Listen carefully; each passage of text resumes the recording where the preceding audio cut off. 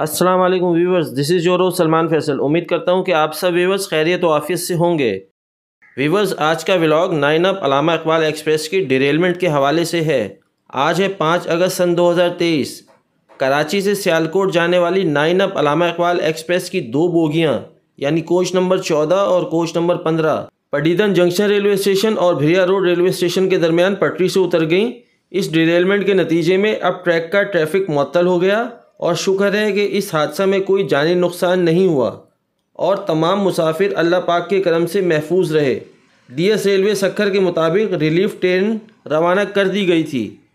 हादसा की जगह रोडी स्टेशन से तकरीबन दो घंटे के फासले पर है, लेकिन रिलीफ ट्रेन तीन घंटे बाद भी नहीं पहुँची थी। अलामा इकबाल एक्सप्रेस के बाद आने वाली ट्रेनें कि जिनमें बहाउद्दीन ज़िक्र एक्सप्रेस को दरिया खां मरी रेलवे स्टेशन, फरीद एक्सप्रेस को Bandhi railway station green line express को दौड़ रेलवे स्टेशन के जबकि खैबर मेल को नवाबशाह जंक्शन रेलवे स्टेशन पर रोक लिया गया था। बहरहाल, चार घंटे बाद रिलीफ ट्रेन पहुँच गई और एक घंटा में मुतासर ट्रैक से दोनों बोगियों को हटाकर ट्रैक को क्लियर कर दिया गया। दो मुतासर बोगियों को पडीदन जंक्शन रेलवे स्टेशन के जबकि अगली चार बोगियों को भरिया रोड रेलवे स्टेशन मुंतकिल कर दिया गया है।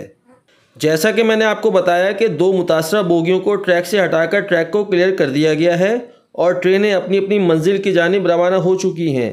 ये आप रेलवे लाइव ऐप के स्क्रीनशॉट देख सकते हैं कि अलामा इकबाल एक्सप्रेस दिन बारह बज के बारह मिनट पर रोडी से रवाना हो चुकी है। जिक्री एक्सप्रेस खैरपुर स्टेशन से निकल चुकी है। Farid express Gambat railway station के नज़दीक है। Green line express Lakha road railway station को 102 किलोमीटर फ़ी घंटा की रफ्तार से थ्रू पास कर रही है।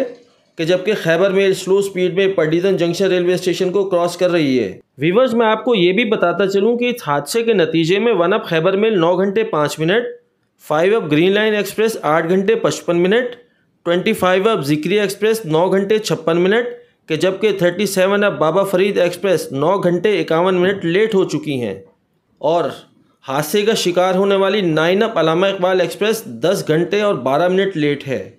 वाज रहे कि nine up Allama Iqbal express शाम छः बजकर तीस मिनट पर कराची कैंट स्टेशन से डिपार्ट करती है और अगले दिन शाम छः बजकर पैंतालीस मिनट पर सियालकोट पहुँचती है। जी वीवर्स ये थी आज यानी पाँच अगस्त सन 2023 की इम्पोर्टेंट न्यूज़ रेलवे के हवाले से और आपके भाई ने आपको इस ट्रेजडी के हवाले से अपडेट किया है। इन जल्दी किसी नए व्लॉग में मुलाकात होगी। अगर चैनल अब तक सब्सक्राइब नहीं किया है तो इसे ज़रूर सब्सक्राइब कीजिए और बेल आइकॉन का बटन दबा दें ताकि नई वीडियोस की नोटिफिकेशन आपको बर वक्त मिलते रहें। अपना ख्याल रखिएगा और दुआओं में हम सबको याद कीजिएगा। टेक केयर अल्लाह हाफिज़ stay safe stay blessed Pakistan जिंदाबाद। ये जी इस वक्त जो है हम टाइम बताएँ टाइम क्या फिर बच्चर वगैरह भी पड़े में हमें भी इधर उधर थोड़ा बच के चल